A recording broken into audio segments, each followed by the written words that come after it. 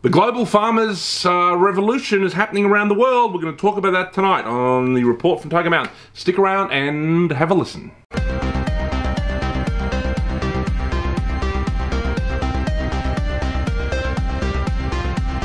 Yes, uh, ladies and gentlemen, uh, I don't know if you've uh, been watching the news, because if you've been watching our news, you wouldn't have heard anything about it. But around the world, if you look at independent media, uh, if you look at media from various sources like RT or from even some Arab media, you know, uh, like Al Jazeera, and independent media, you know, Russell Brand, and, you know, left or right, Tucker Carlson, you will find out that there has been a global revolution going on from farmers in Europe. Um, obviously, uh, as part of the globalist agenda to enslave humanity, they uh, are trying to basically almost force farmers out of existence. Um, you know, uh, through overly taxing them, through uh, you know banning the use of some fertilizers or uh, some pesticides or whatever. You know, they're doing everything they can to make life difficult for farmers, to push as many people as they can out of farming so they can also conglomerate it into monopolies. So, yeah, I mean, obviously part of this agenda is that they also want people to eat less meat, um, you know, which is again another nonsense. Um, I mean, sure, if you want to eat more vegetables in your diet, sometimes that might be good for you, but they don't want to even give you vegetables. They want to give you bugs, ladies and gentlemen, as we know. Klaus Schwab said, eat the bugs, and, uh,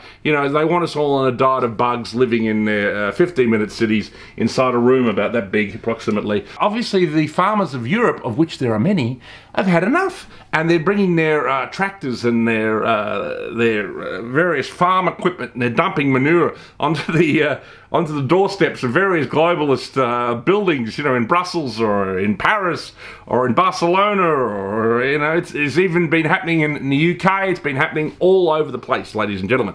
Up in Scandinavia as well, ladies and gentlemen. So I think this is fantastic and uh, I think we should see some of it here, ladies and gentlemen. In Australia, our own farmers who are equally under pressure with this absolute bullshit about climate change, ladies and gentlemen, which is nonsense, particularly for a country like Australia, whose a carbon footprint is almost next to zero on a global scale. And also, we have like 30 billion trees uh, in this country and only about 30 million people. So, you know, there's like a thousand trees for every single person. So that I mean, Australia is carbon neutral already, but you know, our farmers have been put under pressure, and you know, we need to look after our farmers. We need to look after uh, food production in this country just like the Europeans are doing. And obviously that's why they're fighting. And I think this is a huge fight. After the pandemic, the pandemic sort of brought everybody together to fight the globalists over their ridiculous totalitarian nonsense over the COVID disease.